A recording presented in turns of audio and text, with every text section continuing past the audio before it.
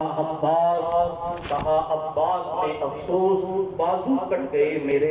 कहा अब्बास ने अफसोस, बाजू कट गए मेरे। सकीना तक ये मिशके आब पहुंचाई नहीं जाती। सकीना तक तक ये मिशके आब पहुंचाई नहीं जाती। जतन हर दौर में क्या क्या यजीदियों ने कर देखे। जतन हर दौर में क्या क्या यजीदियों ने कर देखे। कोई भी दौर यजीदियत के खाली नहीं रहा और हर दौर में हुकूमतें अगरचे यजीदियत के साथ हो, मगर हमेशा इज्जतें हुसैनियत के साथ रहती हैं। कहने लगे, जतन हर दौर में क्या क्या यजीदियों ने कर देखे, मगर जहरा के प्यारों की पजीराई नहीं जाती, मगर जहरा के प्यारों की पजीराई नहीं जाती। हुसैनियत को पाना है तो टक्कर ले यजीदों से, हुसैनियत को पाना है तो टक्कर ले यजीदों से। ये वो मंजिल है जो लफ्जों में समझाई नहीं जाती। ये वो मंजिल है जो लफ्जों में समझाई नहीं जाती। और इस शेर के लिए मैंने पूरा कलाम सुनाया है। वो जिन चेहरों को जीनत गाज़े खाके नजब बख्शे। वो जिन चेहरों को जीनत गाज़े खाके नजब बख्शे, दमे आखिर भी उन चेहरों की जेबाई नहीं जाती। दमे आखिर भी उन चेहरों की जेबाई नहीं जाती। नसीर, आखिर अदावत के भी कुछ आदाब होते हैं। किसी बीमार को जंजीर पहनाई नहीं जाती। किसी बीमार को जंजीर पहनाई नहीं जाती। गुरु शरीफ पढ़ लीजिए अल्लाह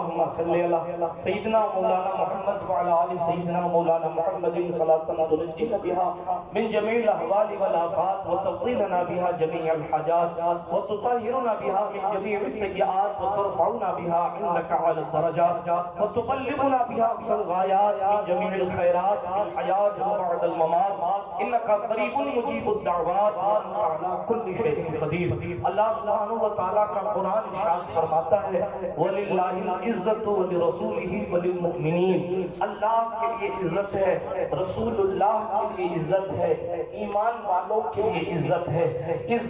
अगर बंदे को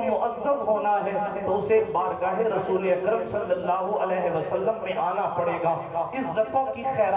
किसी के घर से नहीं बढ़ती इज्जतों की खैरात सैदा जहरा के घर से बढ़ती है जिसका ताल्लुक हज़रत सैदा जहरा से हो गया, जिसने अपना रक्त हज़रत सैदुलशहदा से जोड़ लिया, जिसने अपना ताल्लुक इमाम हसन मुश्तबा से बरकरार रखा, जिसने अपनी गुलामी, अपनी ज़िंदगी में मौला अली की गुलामी अपनाई, ज़िंदगी में इज़्ज़त उसी को मैसर आती है। मोमिन दर हकीकत होता ही नहीं है। मेरे और आपके पैगंबर ने इशाद फरमाया, कोई शख्स उस वक्त तक मोमिन कामिल नहीं हो सकता, जब तक कि वो मेरे खानदान खानदान से ज़्यादा अपने खानदान से ज़्यादा मेरे खानदान से मोहब्बत ना करे। जब तक वो अपनी औलाद से ज़्यादा, मेरी औलाद से मोहब्बत ना करे। जब तक वो अपनी जान से ज़्यादा, मेरी जान से मोहब्बत ना करे, तब तक बंदा मोमिन नहीं हो सकता। इसी वजह से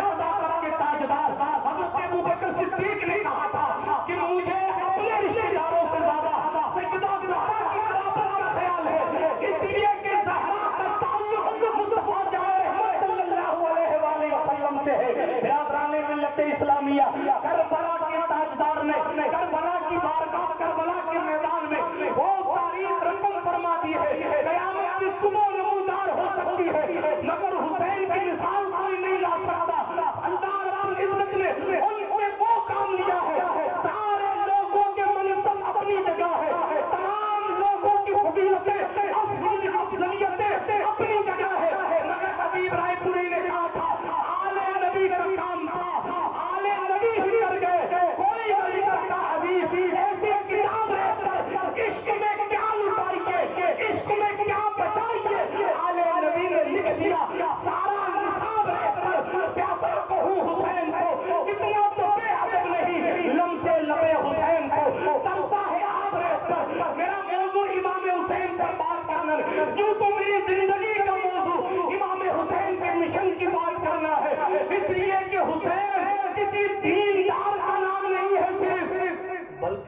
सरापा दीन का नाम आज लोग दीन दारी बचाने निकलते हैं। आज लोग अगर मुसलमानों को बचाने निकलते हैं। अगर आज लोग नामों से रिसालत पर बात करने के लिए निकलते हैं। ज़ाहिर बात है कौन भी हीरो बनाती है, रब की बारगाह से भी इज्जतें मिलती हैं। जब मुसलमान बचाने की इतनी फजीलत है तो हुसैन तो इस्लाम बचाने गए थे। मुसलमान बचाने बचाने की बात नहीं मुसलमान तो हर दौर पे बचाया जा रहा है, बचाया जाता रहेगा। लेकिन हुसैन पाक ने सिर्फ़ मुसलमानों को नहीं बचाया, बल्कि सराफा इस्लाम को बचाया। अब फलसफा समझ में आया, मेरे और आपके पैगंबर ने फरमाया था, हुसैन मुझसे है, मैं हुसैन से हूँ।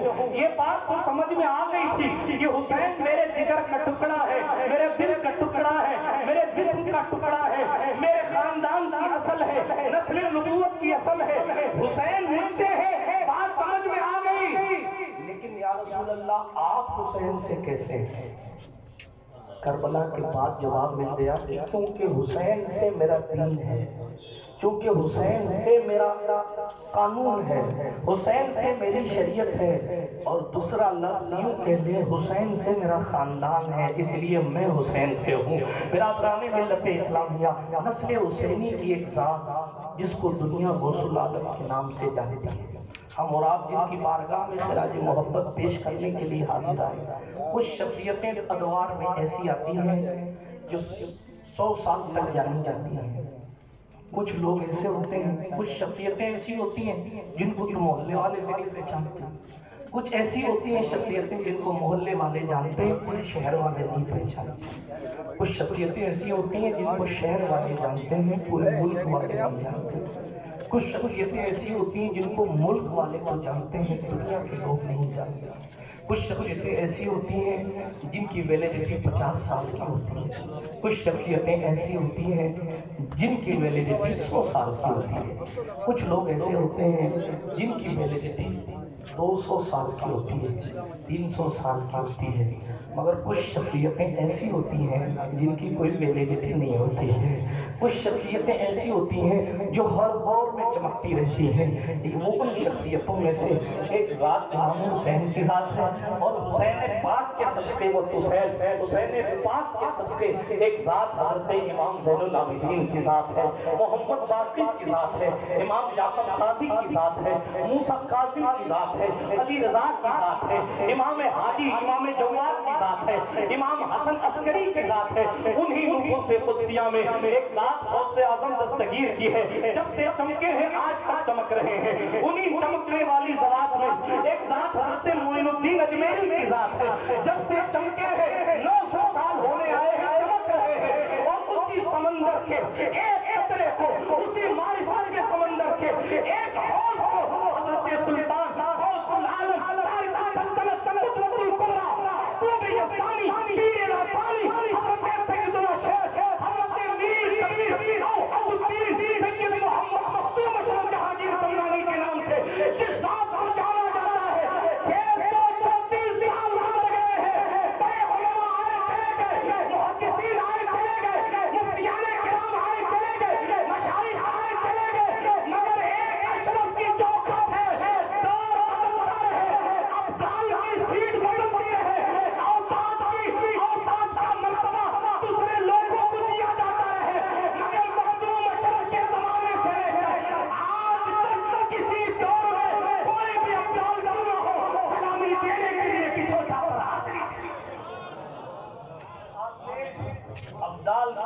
को समझा नहीं अगर अब्दाल को समझे होते तो खामोश न होते। मेरे और आपके पैगंबर ने फरमाया, अब्दाल वो चालीस लोग हैं और उनकी बरकत से अल्लाह आसमान से पानी बरसाता है। उनकी बरकत से अल्लाह ज़मीन से सब्जा उगाता है। ये हुजूर का फरमान है। वो अब्दाल है। और सुल्तान मखदूम अशरफ लेते मैं अशरफ हूँ। इतने अब्दाल, सात अब्दाल, तीन सौ अखियार, इतने अबरार, इतने औताद सत्ताईस रजब को अशरफ को सलाम करने आते अल्लाह ने मुझे वो मर्तबा दिया है, मैं जब जिसको चाहूँ सस्पेंड कर सकता हूँ। ज़ुबान से कह दिया हूँ, सुल्तान की शान ऐसी है, ज़िंदगी पर हमारे जैसे नाकिस लोग बयान करते रहे। कभी उनके मकाम की हद को कोई नाप नहीं सकता अल्लाह ने उनका मरतबा क्या क्या नहीं किया? आज पूरी पूरी ज़िंदगी गुजर जाती है किसी के हाथ पर। एक बंदा मुसलमान हुआ, किसी के हाथ पर दो, किसी के हाथ पर कोई नहीं।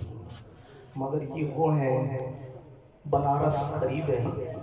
आज क्या हाल है बनारस का? आप भी जानते हैं, मखदूम साहब के दौर में मखदूम साहब बनारस के मशहूर ज़माना के साथ अब्दुल्ला बनारसी के घर ठहरे।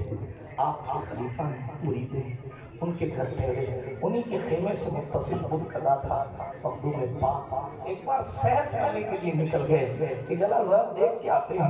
आज भोर भोर है, क्यों कहते हैं, जरा सा धीरे बोलो धीरे बोलो, माहौल खराब हो जाएगा। एक भोर भोर था कि चले देख के आते हैं कि किसकी किसकी इबादतें की जाती है। जरा हम भी देख ले जिनकी इबादतें की जाती है उनकी औकात नाप ली जाए। महबूब पाक घूमते घूमते चले चले। जब तक छेड़ा ना जाए तब तक कोई बात नहीं। छेड़ दिया जाए चाहे छोड़ा ना जाना खुद नहीं थे मिलने के लिए पढ़े आप। अलाजा शफी ने सहारिक में लिखा है। घूमते घूमते पहुँचे ना। देखा लोग इबादत करने बात शुरू हो गई। और उसी बात बात में उन्होंने ताकत दिखाना शुरू कर दिया। दूसरे मज़हब के लोगों ने साथ ये भी कहना शुरू कर दिया, हमारा मज़हब हक है। हम सच्चे हैं, आप सच्चे नहीं है। अब हुसैनी खून है। जलाल में आ गया अच्छा तुम सच्चे हो किनकी इबादत करने वाले कहा अगर ये उस बात का कलमा पढ़ने लगे जिनका मैं पढ़ता हूँ, अब तुम क्या करोगे? करके दिखाइए, साहिब के जुमले हैं मखदूम साहब ने अपने हाथ में उठा दिया। और उठा के कहा, बोल, क्या मोहम्मद अरबी का मज़हब सच्चा है या नहीं है? बोल, अगर मज़हब मोहम्मदी सच्चा है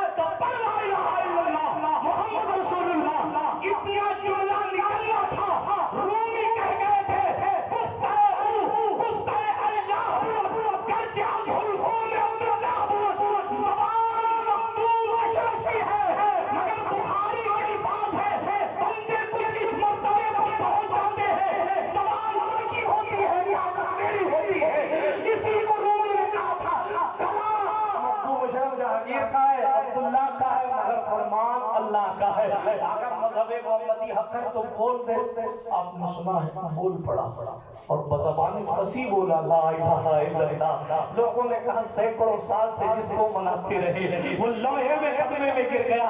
तो फिर मुकद्दर की आज मिलाज कर ली जाए, हम भी उसी कदमों में गिर जाए। एक हज़ार लोगों को जो एक जुमले से मुसलमान कर दे उसे मखदूम अशरफ जहांगीर समनानी कहते, सत्तर सालों में वाला मुसलमानों में तबलीगें करना आसान है। पैजामा ऊपर कर लो बड़ी चैन के मत बोलो बहुत अच्छी बात है ड्यूटी है असाबे जवाहिर की मगर दूसरों में जाकर चाशनीय चाशनीय पैगाम मुस्तफ़ा अदा करना ये बड़ा मुश्किल काम है हज़ारों हज़ार लोगों को एक एक लम्हे में मुसलमान कर देने वाली जात को अशरफ जहांगीर समनानी कहा करते हैं, आज रोज़गार की फ़िक्र में ड्यूटियों को भुला दिया जाता है, मगर मखदूम अशरफ वो है जो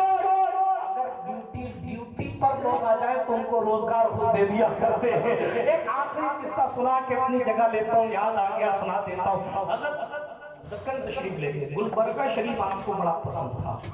गुलबर्गा शरीफ सैयद मोहम्मद हुसैनी बंदर आवाज़ दराज महबूब इलाही के पोते मुरीद हैं। सरकारें बंदर आवाज़ पूरे खानदान के नाम के आगे हुसैनी लगता है। हाँ हाँ छोटे सा, छोटे से लेके बड़े तक, सज्जादा से लेकर छोटे तक, हर बंदे ने ये एक बेहतरीन अंदाज किया है कि हर खातून खानदान, गुलबर्गा के हर बच्चे के नाम के आगे हुसैनी लगाया जाता है। मैं ये इसलिए कह रहा हूँ क्योंकि इस दौरे यजीदियत में भी अगर कोई ये तलाश करने क्योंकि इस दौर में हज़रत अजीब कहने वाले भी तो लोग हैं ना अल अमान वाला शून्य किस्मत है करंट है। लेकिन सुनिए, तेज़ी के साथ साथ करता हूँ, तकरीर करने का वक्त कम रहता है। हर हर बंदे ने अपने नाम के आगे हुसैनी लिख दिया और तारीख ही बना दी। सुन लो लोगों कहाँ कहाँ तक हुसैनियत को मिटाओगे?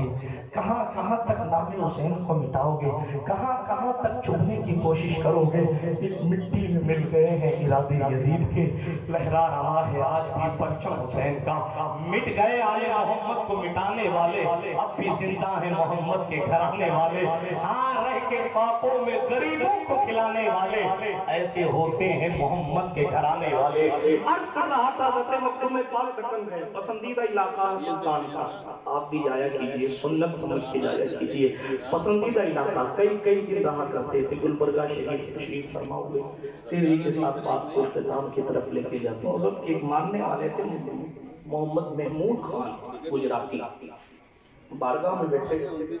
हज़रत तवज्जो फरमाई। अब मखदूम साहब की जो तवज्जो है। मैं अपने जुमलों में तो नहीं बता सकता कि उसकी लिमिट क्या है। इसलिए कि तवज्जो अगर बिल्ली पर पड़े पड़े। तवज्जो अगर बिल्ली पे पड़े तो बिल्ली का मनसब आप जानते हैं क्या हो है? ये बुज़ुर्गों का अख्तियार होता है। हज़रत सरकार शाह आलम सैयद सिराजुद्दीन बुखारी, अहमदाबाद फाजिल फरमा है, अहमदाबाद से हज़रत का बहुत रहा है। हज़रत शाह आलम ने तवज्जो तोते पर डाली तो उसको हाफिज कुरान बना डाला बाकी बिल्ला ने तवज्जो इसको तवज्जो इत्तेहादी कहते हैं। तवज्जो इत्तेहादी अगर अपने नान भाई पे डाली तो उसको अपनी जैसी शबाहत अता कर दी। तारीख बड़ी पड़ी है। ये बुज़ुर्गों की तवज्जो की निगाह। सुल्तान अशरफ जहांगीर समनानी भी कहीं पीछे नहीं है। 140 से जायद सिलसिलों की खिलाफत आपके पास। हाँ। अशरफी अलिफ से और किरत की जबान में हमजा से शुरू होता है और या प्यार खत्म हो जाता है अलिफ से लेके या तक सारे हरूफ तहजी इसमें मौजूद हैं जिस तरह। इसी तरीके से जनाब, सरकार मखदूम पाक की शान ये है, हज़रत सरकार सैयद जलालुद्दीन जहानिया जहाँ गश्त तआला ने आपको 140 सिलसिलों के खिलाफ अता फरमाई अब बताइए, कोई सिलसिला होगा जो छूटा होगा अगर आप फजाइल सुने बाबा रतन हिंदी को बहुत से ने सहाबी माना है। और बाबा रतन हिंदी की मखदूम पाक से मुलाकात है। इस निस्बत से मखदूम पाक अपने वक्त में ताबई की हैसियत रखते हैं। आज ही मखदूम पाक है। सुल्तान इनका काम सिर्फ़ गिनात चुराना नहीं, बल्कि मेरा इश्क तो ये कहता है, सुल्तान की चौखट पर सुल्तान की नज़र पड़ जाना बहुत बड़ी बात है। मैंने आस्थाने पर भी अभी हज़रत सैयद हसन साहब बैठे हुए मेरे आस्थाने पर भी ये अर्ज़ किया था कि ये जितने खुदाम यहाँ आपको जिस्मानी दिख रहे हैं, मेरा इश्क कहता है सैकड़ों खादिम यहाँ जिन्नातों की कंडीशन में भी, जिन्नातों, जिन्नात भी मौजूद है। और उन जिन्नातों का काम ये होता है जिनको आप दूसरी जबान में मौकिल कहते हैं कि आने वाले मेहमान और जायरीन का ख्याल, वो जिन्नात खादिम रखा करते हैं और वो मार मार के भगा देते वरना जनाब ये सुल्तान की चौकट है। अब्दुल कादिर जिलानी गौसे आज़म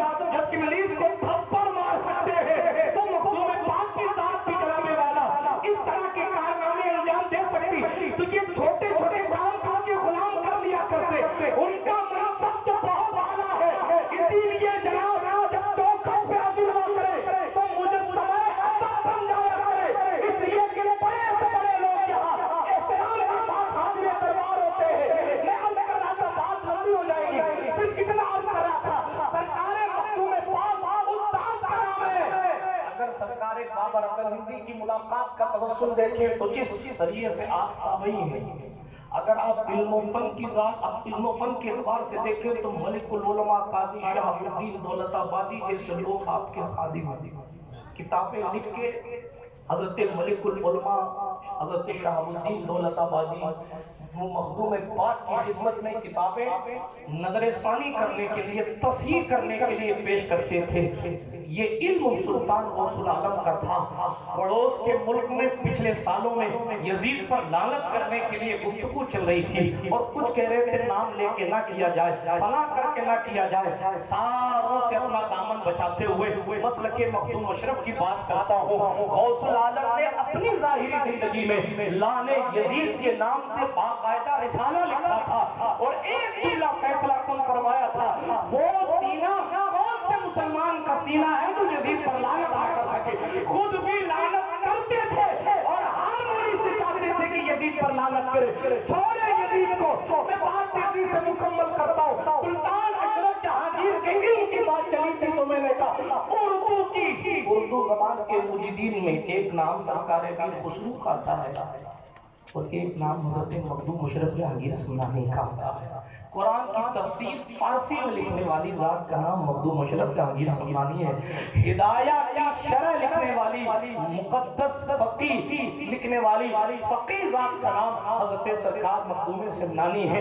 इल्म के पहाड़ का नाम औहदुद्दीन अशरफ जहांगीर है, इल्म जाहिरी भी बेमिसाल है, इल्म बातिनी भी बेमिसाल है। निगाहें डाले तो दिल की दुनिया बदल देते हैं, बिल्लियों को देख ले तो उन्हें पता है किसके दिल में क्या है। रोशन जमीरी चाहिए तो जनाबे वाला बस्ती बस्ती घूमने की ज़रूरत नहीं है। अगर रोशन जमीरी चाहिए गौसुल आलम की चौखट पर चिल्ला कशी कीजिए, जिस दिन निगाह पर गई, उस दिन आपके इस्तेखारे में बेमिसाली आ जाएगी। जिस दिन गई उस दिन ये आलम भी रोशन और वो आलम भी रोशन हो जाएगा। सरकार मानो में पाक अल्लाह ताला की साथ बेमिसाल। तवज्जो डाली। बिल्ली पर। आपने किस्सा सुना, किस्सा नहीं सुना था। सिर्फ़ इतना के कि हूँ आने वाले काफिले में कौन मुसलमान है, कौन बेरूपिया है, बगैर बताए बिल्ली जाती है। जब बिल्ली का इतना पावर है तो नूरुलैन का कितना पावर होगा?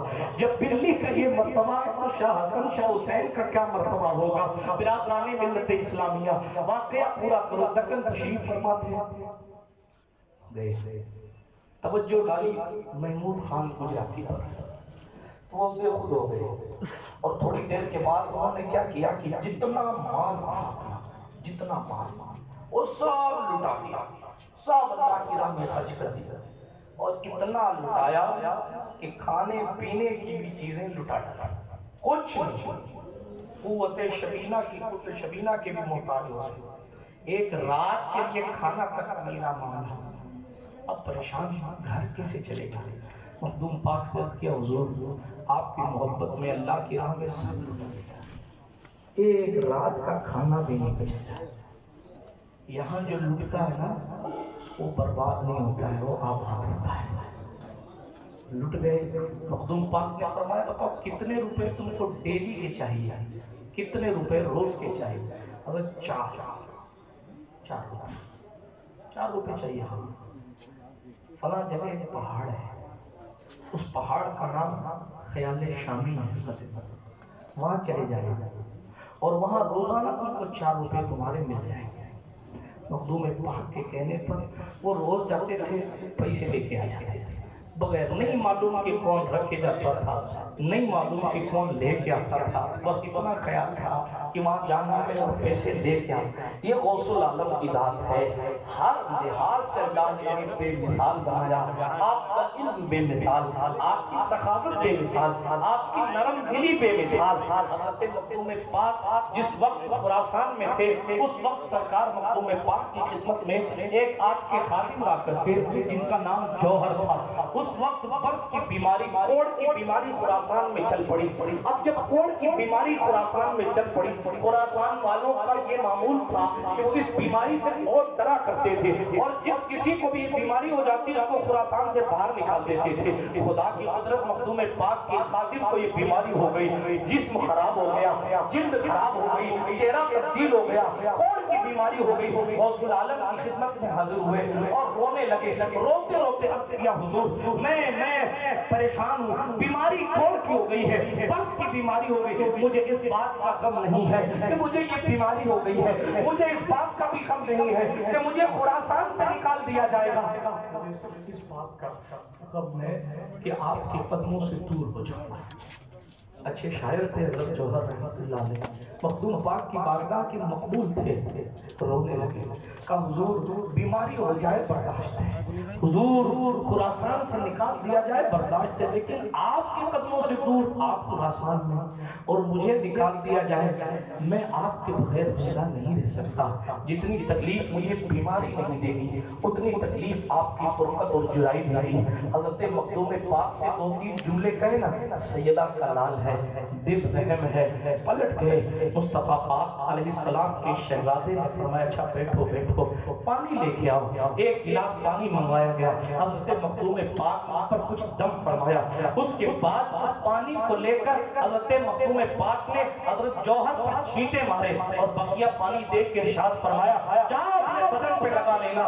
उन्होंने वो पानी का प्याला लिया और जाकर अपने पूरे बदन पे लगाया। बदन पर पानी लगाना था इलाका खुरासान का हो सरकार मखदूम पाक ने वो पानी दिया, पानी लगाया गया। चंद ही लम्हों में हज़रत जौहर ऐसे ठीक हुए जैसे कभी बीमार ही नहीं हुए थे। ये सरकार मखदूम पाक है, अपनी ज़ाहिर ज़िंदगी में भी अल्लाह इनकी चौखट से लोगों को शिफा देता था आज भी कैसे कैसे बीमार आते हैं बार काहे कौन आलम से फैजियाब होकर जाते हैं जो जैसी झोली लेकर आता है उसको वैसी ही खैरात मिला करती है कोई दुनिया मांगने आता है दुनिया मांगने के चक्कर में बहुत से लंबे हो गए इसलिए कि जब उन्होंने दुनिया छोड़ दी है, जब उन्होंने दुनिया छोड़ दी ये बुज़ुर्गों की तारीफ़ रही है कि जिन लोगों ने दुनिया छोड़ दी, उनसे दुनिया मत मांगा, उन्हें जलाला हज़रत सूफी हमीदुद्दीन नागौरी रहमतुल्लाह के आस्थाने पर ये उसूल बुज़ुर्गों ने बताया है कि सूफी साहब की तरफ़ से खड़े होकर दुनिया का मसला मत पेश किया करो। उस तरफ़ उनकी एहलिया का मज़ार है, वहाँ से खड़े होकर अपने दुनियावी मामला पेश किया करो। जो लोग दुनिया को छोड़ देते हैं, वो अक्सर छोड़ देते हैं। फिर दुनिया उनकी नज़र में किसी चीज़ की हैसियत नहीं रखती। दुनिया उनकी नज़र में कोई औकात नहीं रखती। कहीं ऐसा ना हो, दुनिया मांगने के चक्कर में मामला उल्टा हो जाए। हाँ हाँ कहीं का हो गया और हो जाए, हो जाता है। ये सरकार महकूम पाक की चौखट है। यहाँ पसंद एहतराम आना हम सब पर लाजिम है। दुनिया जिन लोगों ने छोड़ दी, एक दरवेश थे। दरवेश के पास से बादशाह गुजरा ना तो दरवेश ने सलाम नहीं किया। जब दरवेश ने सलाम नहीं किया तो उसके वज़ीर को भेजा गया। बादशाह सलामत गुजरे आपने सलाम नहीं किया?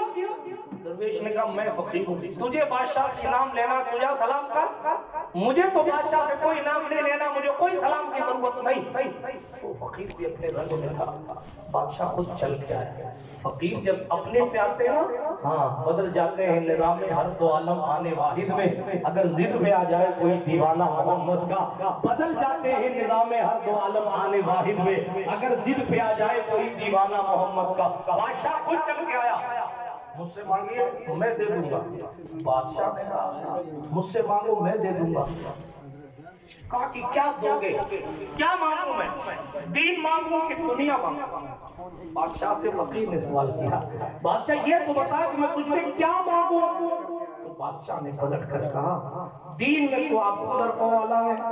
आप दुनिया मांग लीजिए। फकीर ने ये जुमले कहा दुनिया तो मैंने अपने अल्लाह से नहीं मांगी, तुझसे क्या मांगूँगा? दुनिया तो मैंने अपने अल्लाह से नहीं मांगी, तुझसे मैं क्या मांगूँगा? भाई दीन के बाद तो तू दीन में कुछ दे नहीं सकता, खुदा हाफिज। तो ये अल्लाह वालों की शान रही है। तर्क के सरतरत करना कोई छोटी बात नहीं। तर्क आदत हैं बरस हाँ बरस गुजर जाते, एक आदत तर्क करने के लिए सालों लग जाता है। एक बुरी आदत सालों लग गए तर्क करने के लिए। जब तर्क के आदत का इतना भारी है? तो तर्क के सल्तनत का मसला कितना भारी होगा? लेकिन मंजिले इश्क में तस्लीम और रजा मुश्किल है। जिनके रुतबे है सिवा, उनको सिवा मुश्किल है। यार, ज़िंदा सोहबत बाकी। अल्लाह पाक मशाई के सदक़े में हमें और आपको यहाँ भी गौसुल आलम की चौखट से वाबस्ता रखे। वहाँ भी मखदूम पाक के कदमों से वाबस्ता रखे। आमीन, बेहक के ताहा व यासीन। खूब की सैर चमन फूल की निशाद रहे। बाग वहाँ जाता है गुलशन तेरा आबाद रहे।